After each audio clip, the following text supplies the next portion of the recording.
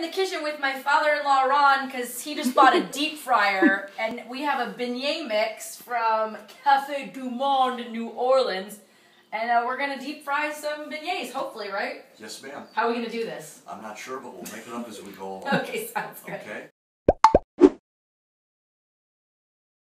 Alright, we'll add the oil. What kind of oil are you using? I'm using a local grocery store's canola oil. Okay.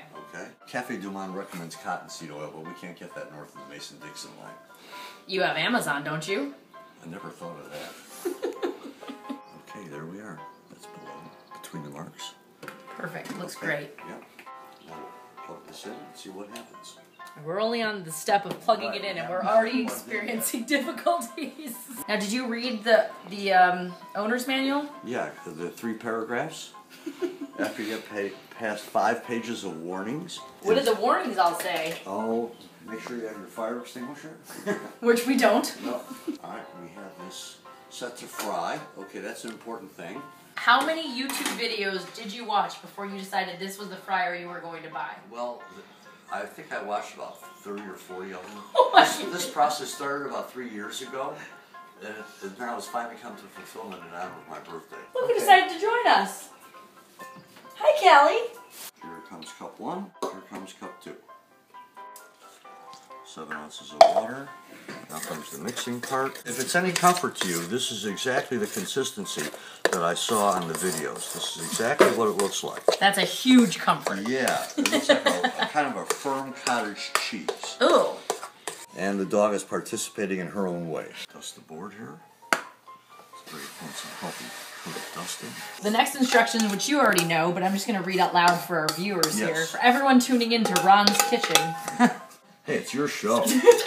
roll to an eighth of an inch thickness on floured surface using flour liberally on dough. This kind of looks like wallpaper paste.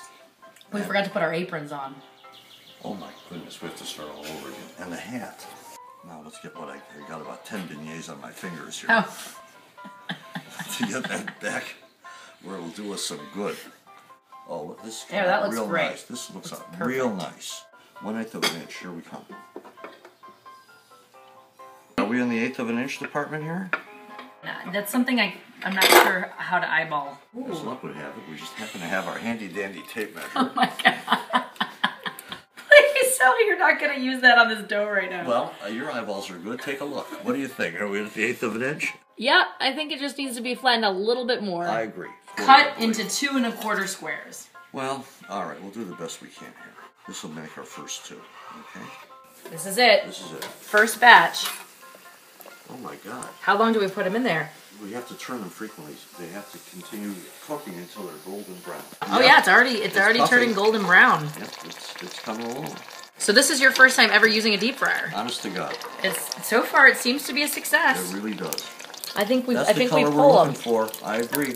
What we'll do is we'll just dump it onto the paper towel. Look at that! Yeah, surprise! First batch of beignets are done.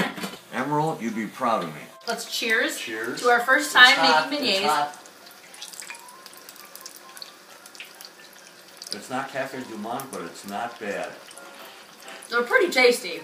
Yep, Perfect crispiness on the outside. indeed. Nice and flavorful inside. Chewy in the middle. Mm-hmm. Well done. Thank you. Thank you very much for your help. Thank you for uh, joining me on today's episode. You're certainly welcome. Did you enjoy yourself? You know, I felt like you were very natural. You, it was like the camera wasn't even there. Uh huh. This is what a beignet will do to you.